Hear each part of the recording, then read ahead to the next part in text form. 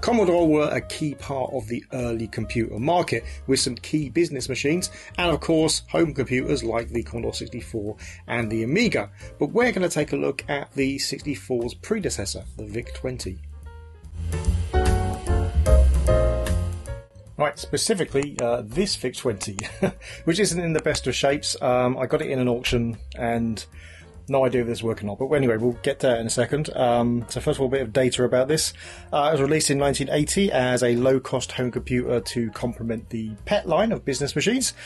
It had 5k of RAM, obviously expandable, uh, and it used the PET 6502 CPU, running at either 1.02 or 1.1 megahertz, depending on your region. Its graphic chip is called the VIC chip, and it was capable of 176 by 184 resolution with 16 colors, although there are caveats around the colors, but anyway. Uh, yeah, so those specs are, or a lot of the, the, the details about the machine are very similar to the C64. Obviously, the C64 improved quite a lot. Um, yeah, the I mean, the styling obviously is is very similar. The keys are similar. In fact, one of the things I have already fixed, and I did it because it didn't. I didn't think it was going to be a big job, so it wasn't worth kind of showing on on video. Turned out to be a lot more involved than I thought it was, so it would have been good, but I've, I've done it already. Is I replaced the two key um, because the well, this one was missing it entirely, and the stalk was broken and everything, uh, and that's been replaced with an early Commodore 64 version instead. They are the same. Um, yeah, I'll get to I'll, I'll show what I did on this because it is, like I said, more involved than I assumed it was going to be. So yeah, they're very similar designs. Just the C64 is obviously much enhanced. Um, the side even is pretty similar, although there are variations of this with different power connectors. This one looks very, very much like the, the Commodore 64. The back is kind of similar as well, uh, to the point where some of the uh, later versions of the VIC-20, the cases had a little bulge there where it could be reused. The top bit of the case could be reused for Commodore 64s. So quite similar. One of these is the video. There's no, it's got no writing on it to say which one is which. So I'll actually have to look that up. Um, because obviously I'm going to have to try and get video out of this. I'm hoping it's the same lead as the Commodore 64 because that would be very, very handy. Um, yes, so don't know if this is working. Like I said, got it as part of an auction, and when I opened this up for the first time, uh, first of all, quite a few of the uh, the plastic pegs that hold the case together were broken. Um, somewhere around here, and maybe I've knocked it off. I have. Hold on.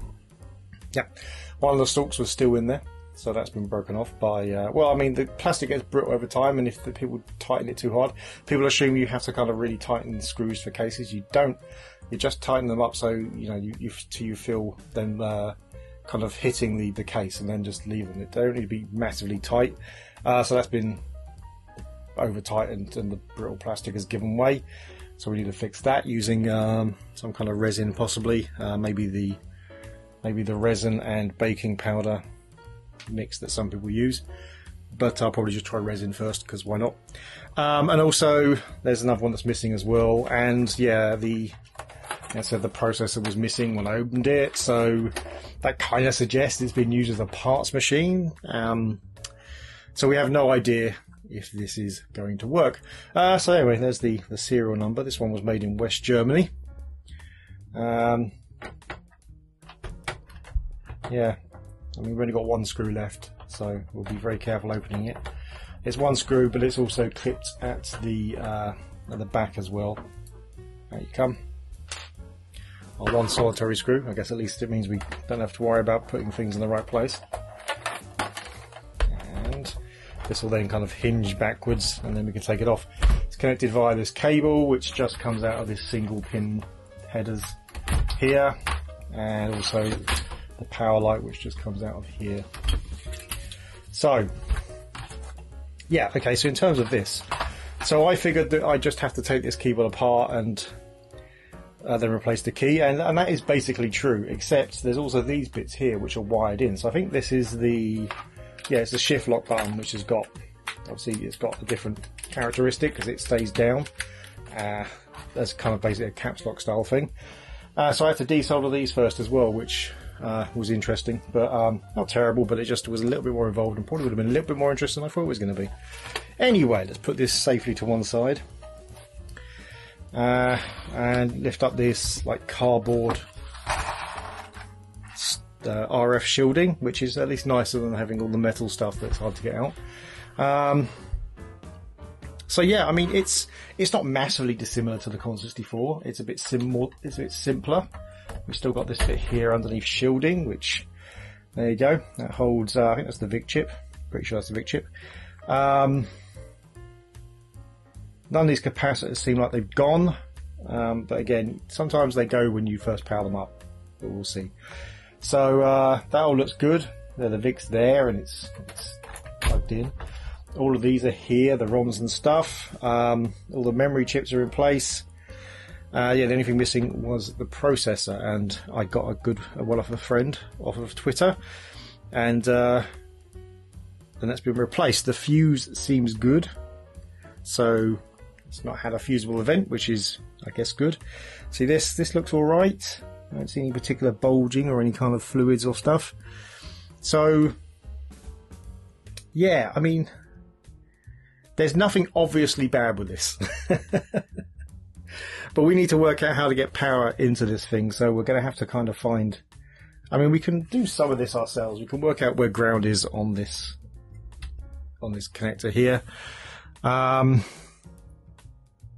but really, we should just look it up. It's it's a lot safer just to look this stuff up. So uh, I think we will do that, and uh, I will get back when I've got a diagram.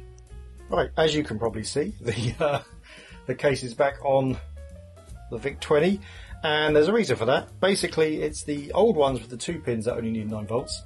This is more complex, but also easier because you can just use a Commodore 64 power supply. So that's kind of handy. so I think what we'll do is, first of all, we're just going to try turning this on and see what happens if we get a power light or not. If not, then obviously we're going to have to go through and actually take a look at stuff. Um, I'm pretty sure the fuse is okay. Yeah, I'm pretty sure I tested the fuse. So if this doesn't work, then it's something more extreme.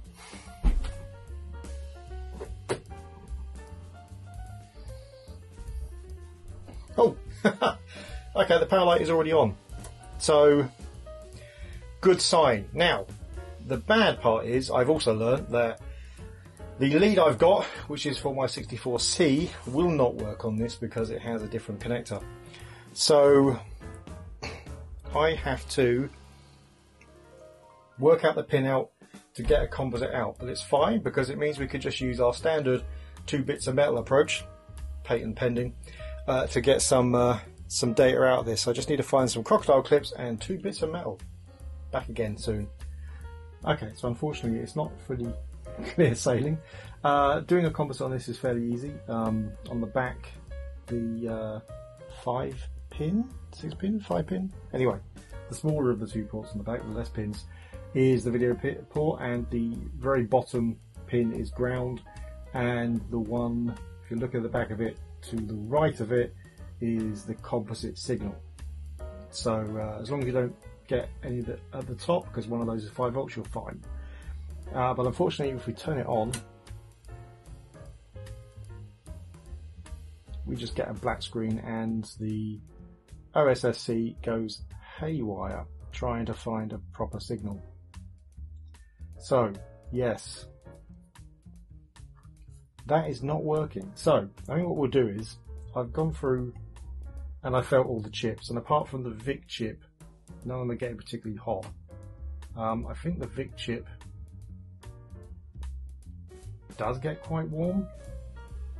But I think the first thing to do is we're just going to try. Oh, I think the first thing we're going to do is we're just going to try uh, and do the usual fallback, which is just replace some of the caps if we've got the right values. Because why not? And then we'll test some voltages around the board. Right, let's turn this off. Well, I just, uh, we don't know if this is the problem yet or not, I haven't tried it, but I've just taken the uh, CPU back out because I was going to put some contact cleaner in there because I'd put the CPU in, it had been open to the air for a while, and I discovered, if you can just see that, focus, you can see better there, two of the legs flattened, so I wasn't very careful putting that in. So I need to very carefully straighten those, or I've got a repair job on the hand. So, uh, yes, wasn't going to work too well like that. Right, back in a sec. Okay, so we've recapped it. Um, we fixed that. Oh, well, hopefully we fixed that chip. I'm looking. It seems okay now. Uh, so I guess we just try to turn it on and see what happens.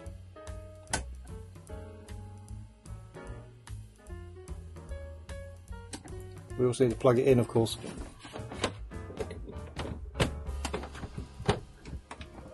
And let's try that again.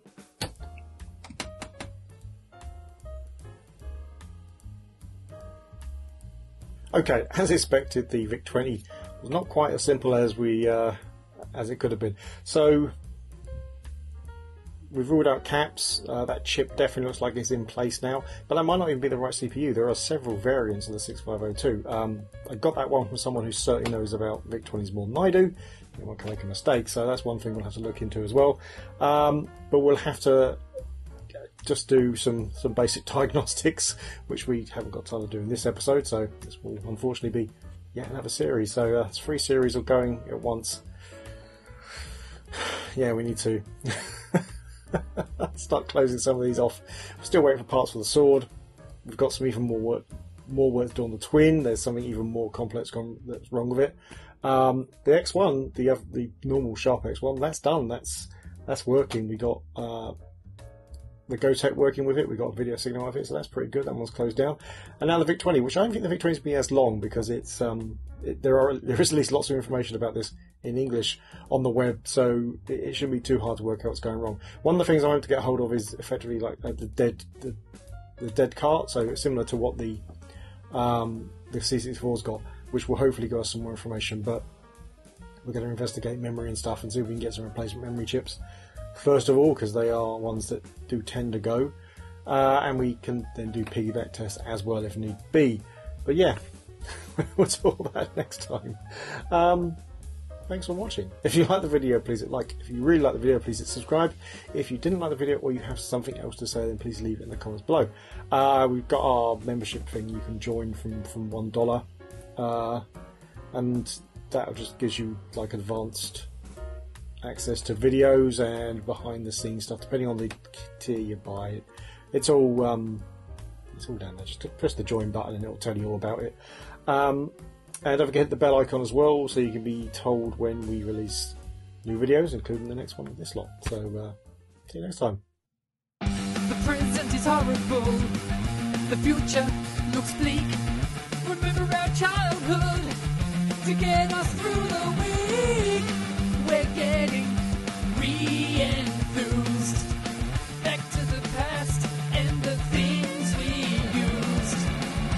We all know that our pasts were great. Escaping the things that today we hate. Getting re-enthused. Getting re-enthused. Getting re-enthused. Getting re-enthused.